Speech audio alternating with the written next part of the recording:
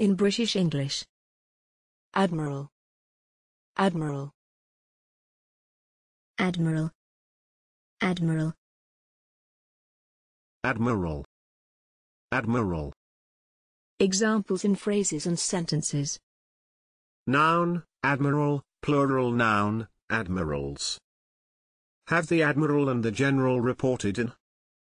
But, the admiral wants you to get out of there. Either way, the admiral had no say in the matter. The consul and the admiral would lose a huge asset. Thanks for watching this video. Please don't forget to subscribe. You can find similar videos for each and every English word in the dictionary on our website.